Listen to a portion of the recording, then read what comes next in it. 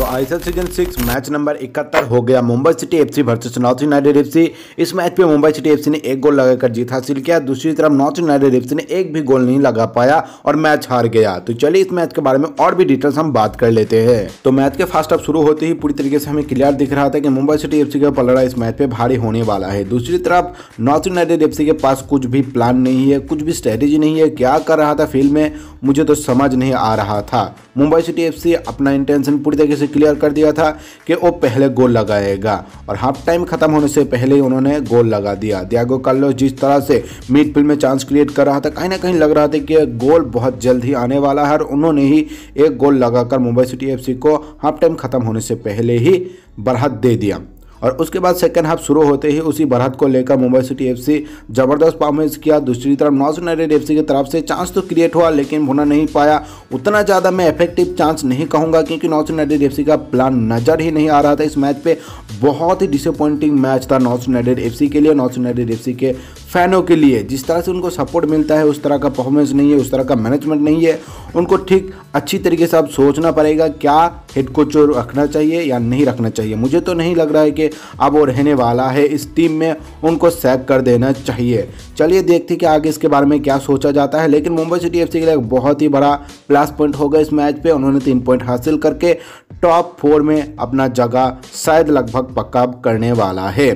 चलिए अब next match के बारे में हम बात कर लेते हैं, जो आज होने वाला है southern derby Kerala western FC versus Chennai FC तो ISL season six match number बहत्तर Kerala western FC versus Chennai FC match होगा शाम साढ़े सात बजे से केरल वेस्टर्न एफसी के home ground Jawaharlal Nehru stadium पर। आप अगर इस मैच को ऑनलाइन देखना चाहते हो तो आपको हॉटस्टार पर देखना पड़ेगा।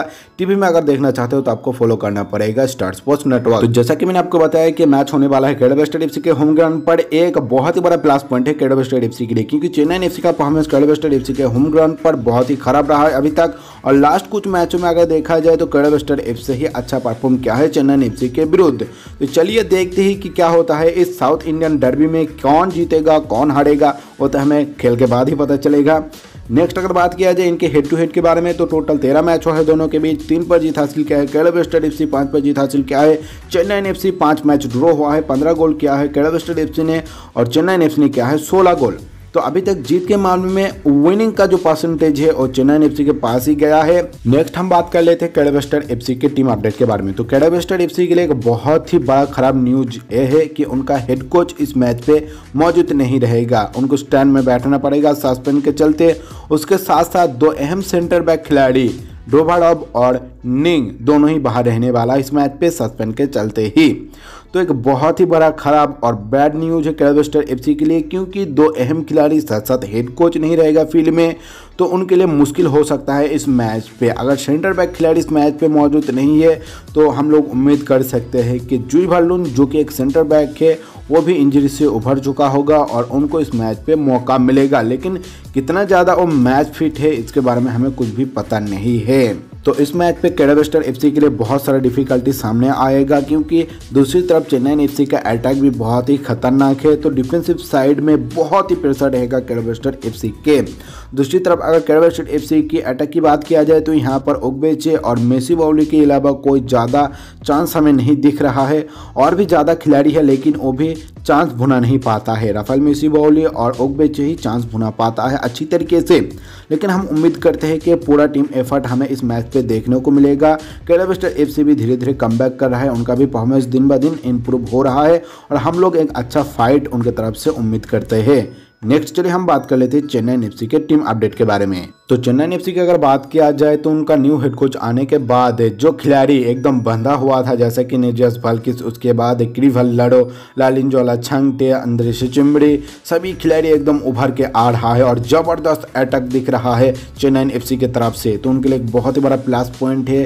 कोच बहुत ही अच्छी तरीके से टीम को मैनेज कर रहा है, खिलाड़ी को इन्फ्लुएंस कर रहा है और लगातार लास्ट तीन मैचों में अच्छा परफॉर्म किया है। चेन्नई एफ़ उनके पास अच्छा कॉन्फिडेंस आ चुका है और टॉप फोर में जाने के के लिए उनके पास अभी बहुत सारा चांस है। और अगर इस मैच पे चेन्नई एफसी जीत हासिल कर लेता है तो उनके लिए एकदम सोने पे सुहागा हो जाएगा।